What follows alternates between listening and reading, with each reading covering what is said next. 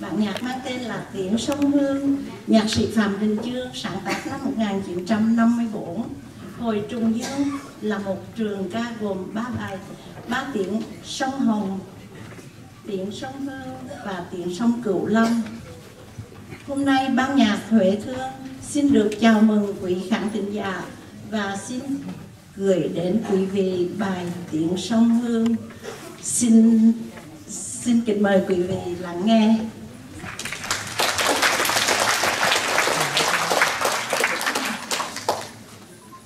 Đúng rồi.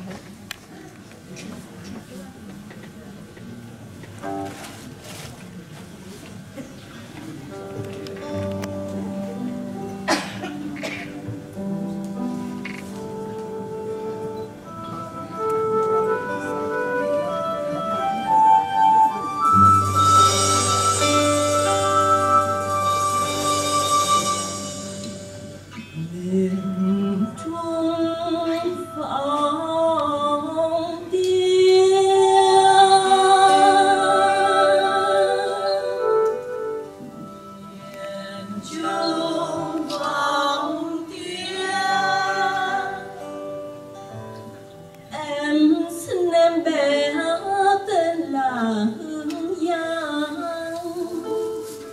Đến đêm qua ảnh trắng vàng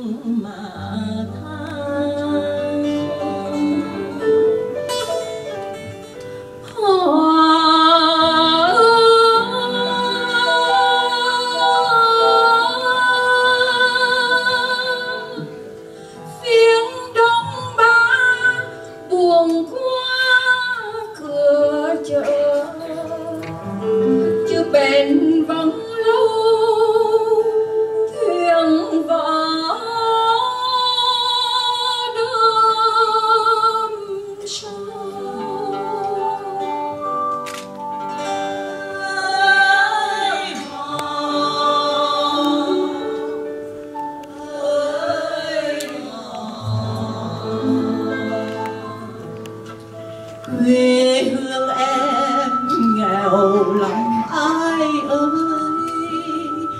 Mùa đông thiếu áo hè thôi thiếu ăn.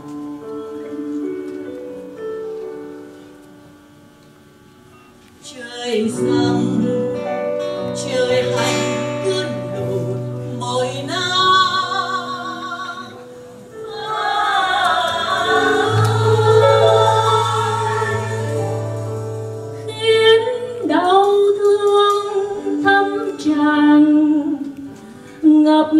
mm.